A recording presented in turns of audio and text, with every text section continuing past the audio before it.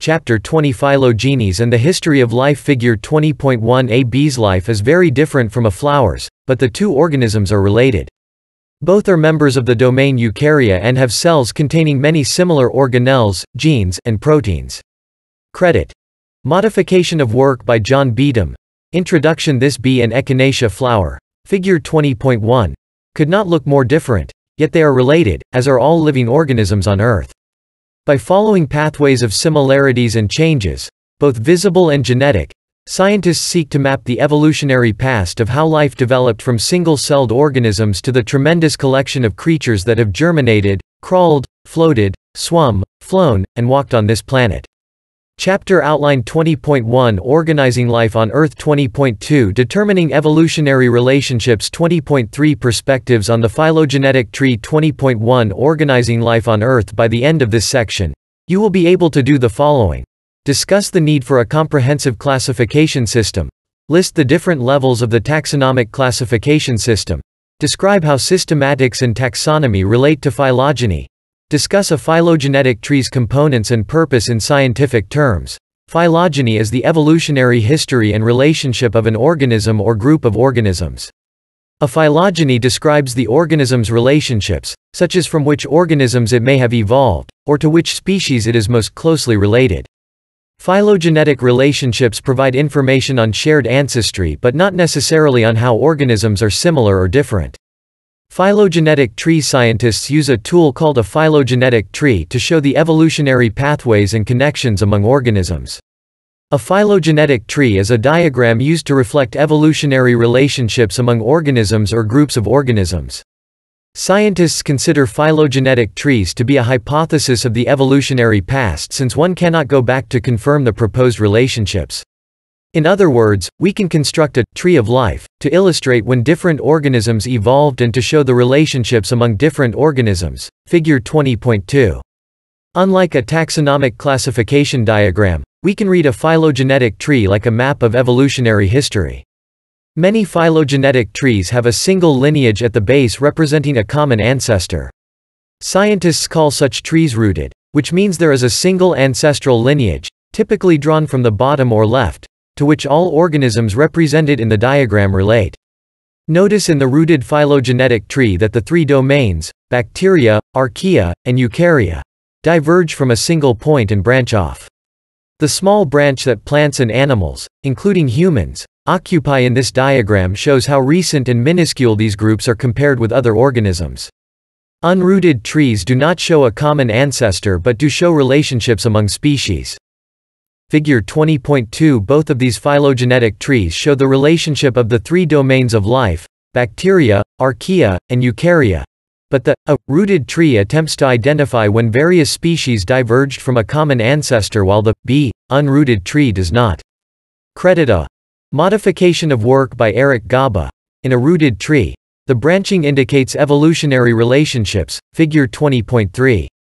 The point where a split occurs, a branch point, represents where a single lineage evolved into a distinct new one. We call a lineage that evolved early from the root that remains unbranched a basal taxon. We call two lineages stemming from the same branch point sister taxa.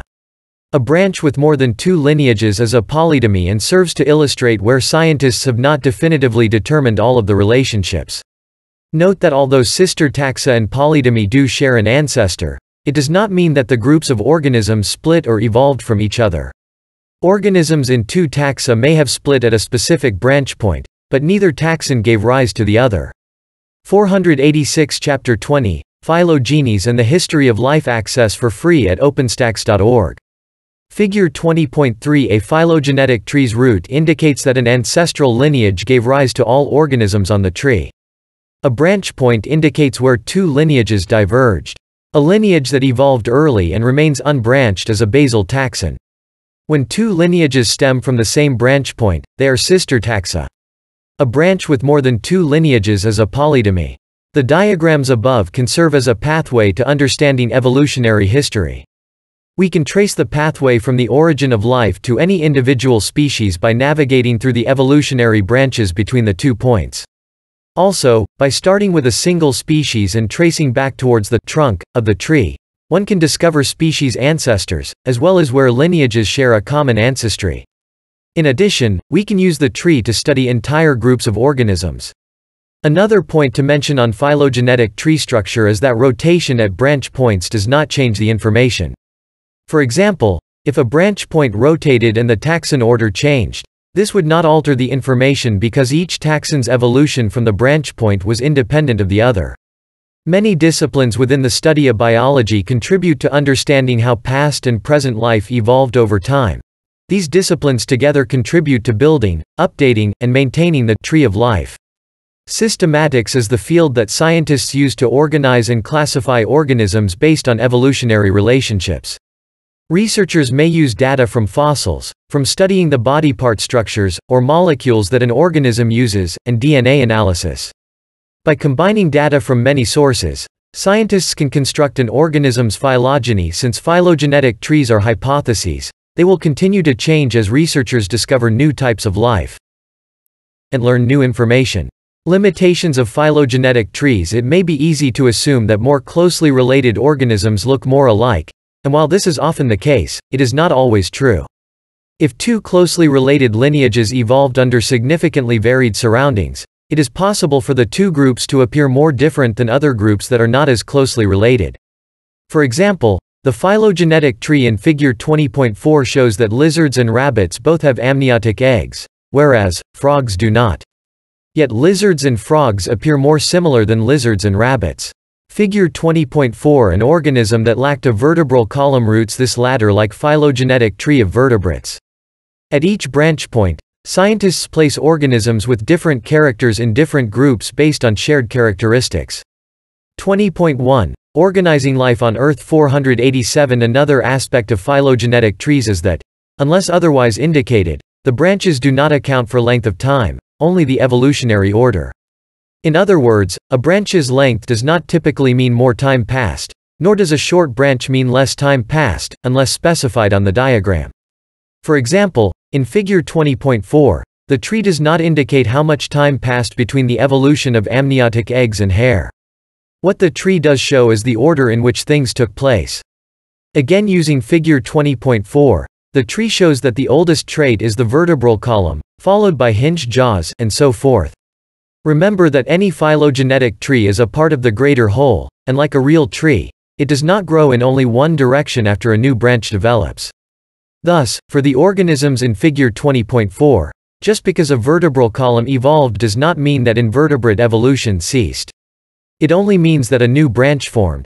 Also, groups that are not closely related, but evolve under similar conditions, may appear more phenotypically similar to each other than to a close relative.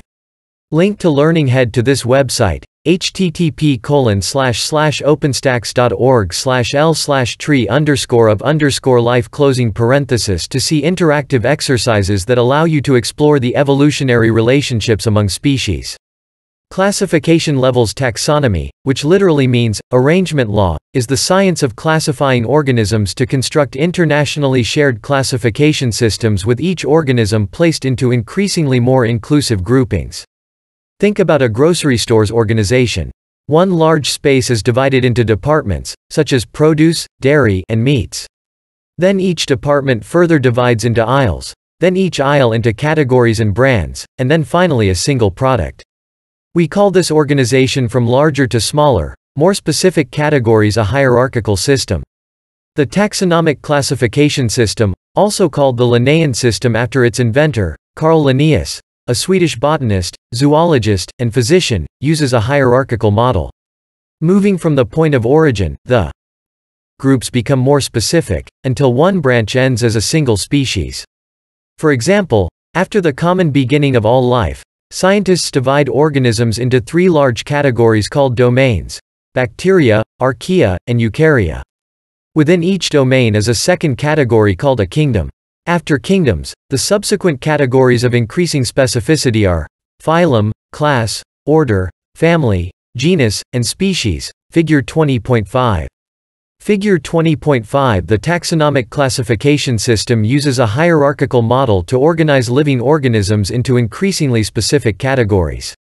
The common dog, Canis lupus familiaris, is a subspecies of Canis lupus, which also includes the wolf and dingo. Credit, dog. Modification of work by Jannicke Vreugdenhil. The kingdom Animalia stems from the Eukarya domain.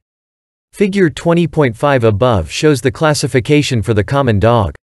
Therefore, the full name of an organism technically has eight terms. For the dog it is Eukarya, Animalia, Chordata, Mammalia, Carnivora, Canidae, Canis, and Lupus. Notice that each name is capitalized except for species, and the genus and species names are italicized.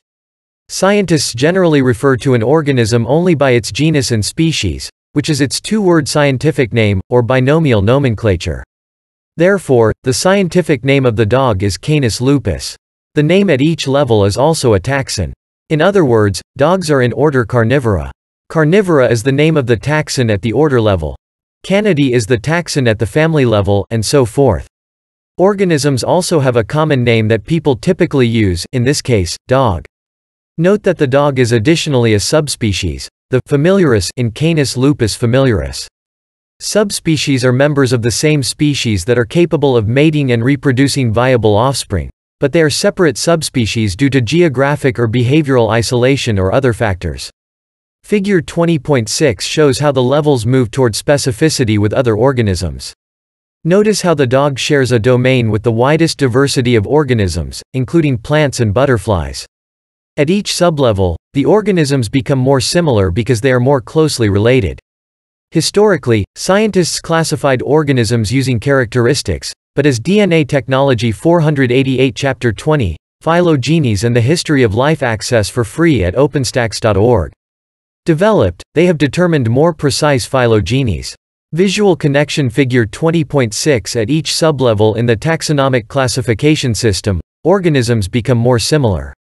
Dogs and wolves are the same species because they can breed and produce viable offspring, but they are different enough to be classified as different subspecies. Credit, Plant, Modification of Work by, Burduckwall, Flickr. Credit, Insect, Modification of Work by John Sullivan. Credit, Fish, Modification of work by Christian Melfier. Credit, Rabbit. Modification of work by Aidan Wojtas. Credit, Cat. Modification of work by Jonathan Lidbeck. Credit, Fox. Modification of work by Kevin Bacher, NPS. Credit, Jackal. Modification of work by Thomas A. Herman. NBII, USGS. Credit, Wolf. Modification of work by Robert Dewar. Credit, Dog. Modification of work by digital underscore image underscore fan. Flickr. At what levels are cats and dogs part of the same group? Link to learning visit this website http colon slash slash openstax.org slash l slash classify underscore life closing parenthesis to explore the classifications of thousands of organisms. This reference site contains about 10% of the described species on the planet. 20.1 Organizing Life on Earth 489 Recent genetic analysis and other advancements have found that some earlier phylogenetic classifications do not align with the evolutionary past. Therefore, researchers must make changes and updates as new discoveries occur. Recall that phylogenetic trees are hypotheses and are modified as data becomes available. In addition, Classification historically has focused on grouping organisms mainly by shared characteristics and does not necessarily illustrate how the various groups relate to each other from an evolutionary perspective. For example, despite the fact that a hippopotamus resembles a pig more than a whale, the hippopotamus may be the whale's closest living relative.